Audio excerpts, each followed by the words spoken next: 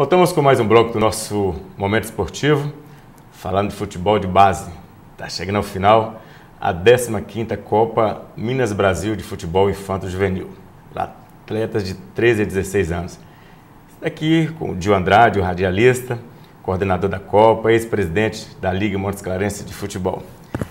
Dio, falando em Liga Montes de Futebol, você foi presidente por quatro anos e pintou um, um fato desagradável no final de semana aí, que você tem a falar a respeito disso? É, torcedor fez ocorrência policial, a Liga fez, você acha que vai dar alguma punição? Olha, é um fato histórico no nosso futebol, porque até então, né, pelo tempo que tem o futebol de Montes Claros, a antiga Liga Montes Clarense de Esportes, agora a Liga Montes Clarense de Futebol, a gente não tinha presenciado esse fato histórico, né?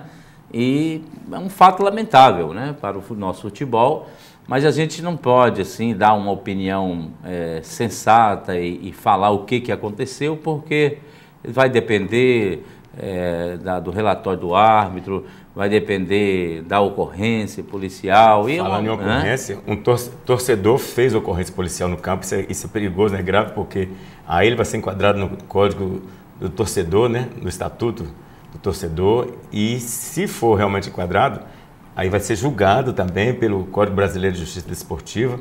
E eu tive conversando com o Emílio Nogueira, o diretor técnico da Liga. O Cruzeiro pode ser enquadrado no artigo 204. Pagou a multa de 50 a 500 mil reais. Você acredita que isso pode acontecer? É, mu é muito difícil, mesmo porque, porque o futebol. Se for né, condenado. É né, condenado, claro. é muito difícil, e isso, quando se trata de futebol amador, ela ela reduz por metade, né? Mas é difícil, eu acho que não, não vai chegar a esse ponto de, de, de multa, essa coisa toda. Até Pode os atletas ser também, que... né? Os atletas podem ser punidos de, de 120 a um ano de punição.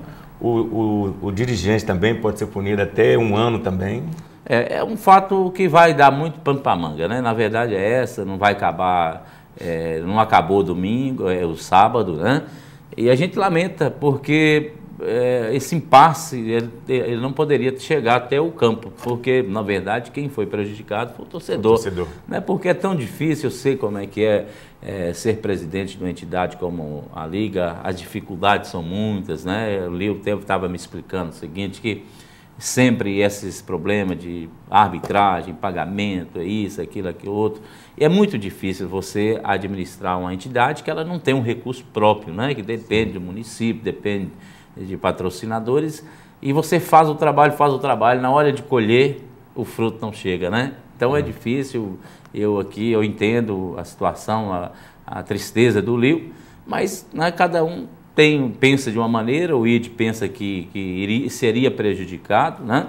E fala, comenta que ele falou que, que, que ele pediu, né, na verdade. Ele falou o, aqui no o, programa. O estatuto. Ele pediu para o Albin é, e é, ele fala que vai ter traído. É, o estatuto Liga. é claro, né, que não pode vetar. Mas quando a gente trata um, um processo democrático, a Liga ela, ela representa né, o esporte tem que ser tratado democraticamente, eu acho que deveria ter sido resolvido antes de chegar no campo, pois se existe a sede da Liga, é para que aqueles assuntos sejam tratados e resolvidos democraticamente. É para não, não, não, não, não sentir prejudicado nem A e nem B e agradar né, ambas as partes. Então faltou um pouquinho de comunicação, essa é a verdade. Né? Então vou voltar falando da Copa então. Você falou em colher frutos a Copa Minas Brasil já colheu esses frutos nesses 15 anos? Você podia citar é, rapaz, eu, tem muitos que passaram. Hoje é, nós temos muitos que estão nas categorias de base, já estão ah, jogando, já jogaram o júnior,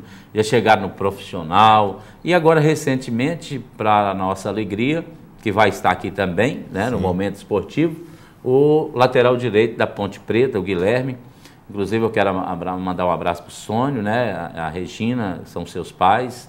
E o Guilherme saiu da Copa Minas Brasil de futebol infantil juvenil.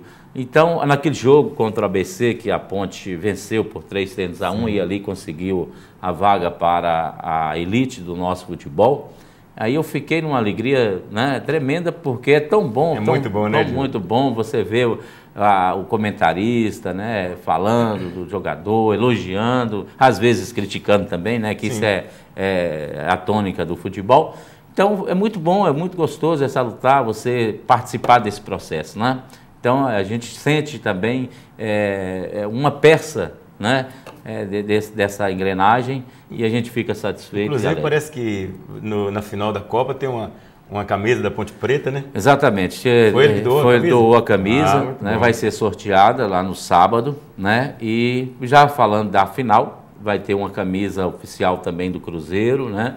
Uma camisa oficial do, do Atlético Mineiro e outra, outra, outros brindes, como bicicleta, né? as crianças, os garotos que chegarem, os 500 primeiros, vão receber picolé de graça, né?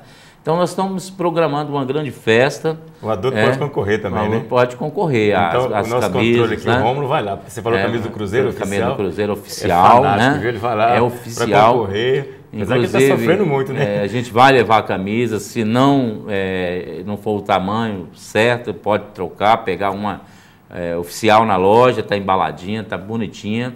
E a gente quer aproveitar a oportunidade para convidar o torcedor para participar, porque, é, igual eu falei, a gente faz tudo isso, é, é um trabalho voluntário, né?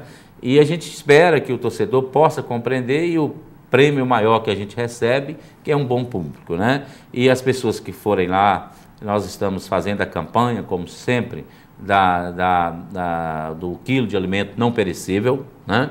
Então, pedir às pessoas que, é, que levem um quilo de alimento não perecível, que a gente vai distribuir a algumas famílias carentes de Montes Claros. Essa campanha deveria acontecer o ano todo, porque tem tanta gente precisando, Sim. mas infelizmente a gente não tem condição e vai aproveitar essa oportunidade para pedir a, às pessoas que, que lá né, comparecerem para é, levar um quilo de alimento não perecível. Ô, Dio, você, o, o atleta ele tem que estar estudando frequente e regularmente. Exatamente. já teve caso de do, do atleta voltar para a escola pelo fato de querer participar da Copa Minas Brasil? Só que você vai responder isso para a gente depois do nosso intervalo comercial. Segura aí. Um oferecimento Carine Leste Confecções.